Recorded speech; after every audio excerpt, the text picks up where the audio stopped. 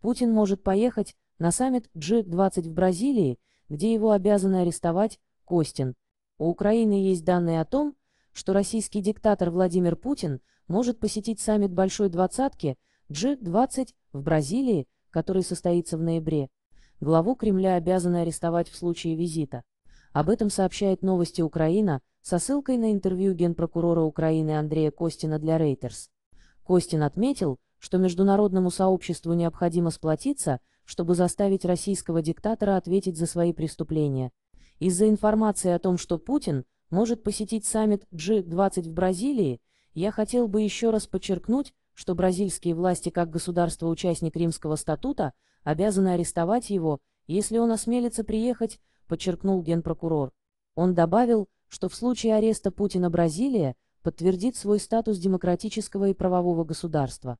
Но если бразильские власти не захотят выполнять ордер на арест, по словам Костина, может возникнуть прецедент, при котором лидеры, обвиненные в преступлениях, смогут безнаказанно путешествовать.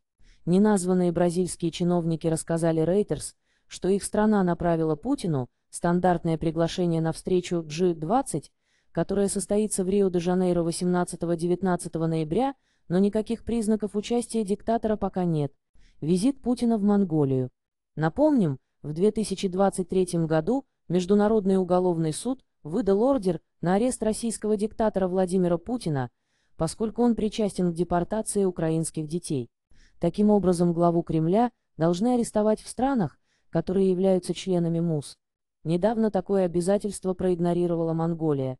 В начале сентября российский диктатор приехал в страну на празднование 85-й годовщины победы советских войск в 1939 году над Японией в битве на реке Халкин-Гол в Монголии. Более детально о том, почему Улан-Батор отказался арестовать Путина, в материале РБК «Украина».